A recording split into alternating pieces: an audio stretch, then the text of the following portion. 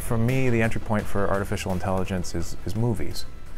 And I'm wondering if, if you think that there's a, there's a film out there that's got artificial intelligence right.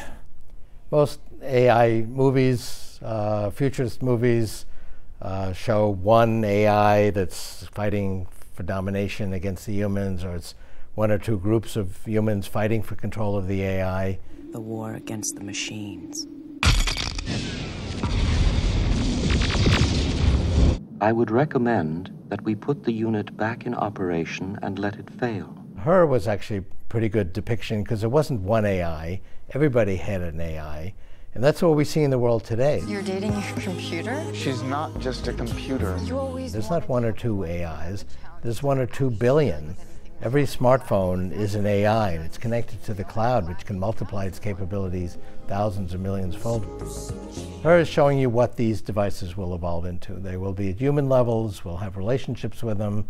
Samantha was Theodore's uh, assistant and helped him with information and his schedule, but it was also his companion. I've never loved anyone the way I love you. Me too. That was a fairly realistic depiction, and the the uh, screenwriter and director said they based the movie on my ideas.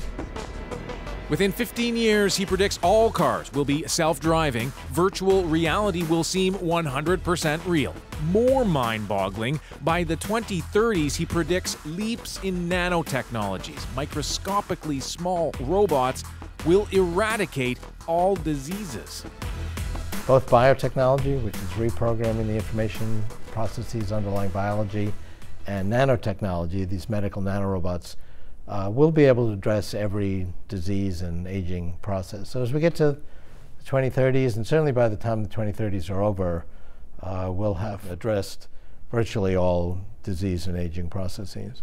And, and then you go on further to say that by the 2040s, we'll be able to, to, to tap our, our own human consciousness into the cloud, correct? One of the points I made is that technology is getting smaller and smaller at an exponential rate and increasing in price performance. So, uh, 25 years from now, computers will be a billion times more powerful per dollar. They'll be 100,000 times smaller. They'll be the size of blood cells. They can go inside the brain and connect the neocortex to the cloud wirelessly. In other words, our brains converge with intelligent machines. The result, a colossal expansion of human intellect.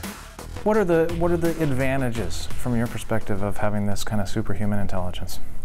Intelligence is the only thing that enables us to solve problems. Uh, life expectancy was 19 a thousand years ago.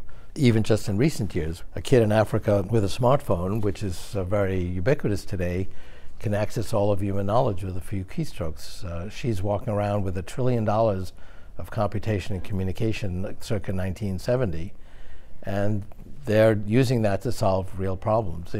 We still have problems today in the world, and the only way we're going to overcome disease and aging and poverty and environmental degradation is through greater intelligence. What do you say to people that are concerned when they hear that computers might, might uh, in a very near future, trump human intelligence?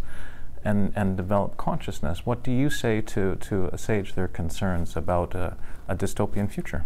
Technology is a double edged sword. Fire kept us warm and cooked our food, but also burned down our houses, and every technology has had dual uses for creativity and uh, promoting our health, but also being destructive.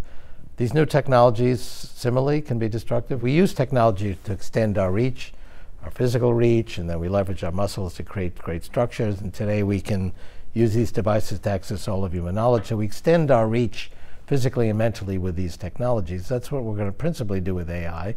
But they could also be dangerous. Already AI is used in warfare, for example. You think the future looks bright? I think you have to be an optimist to be an entrepreneur. If you knew of all the problems that you'd face in a project, you'd probably never start anything. Uh, but I've also written extensively about how these technologies can be dangerous and abused, and how what we need to do to keep them safe. And I think that's actually the biggest challenge for humanity in the 21st century.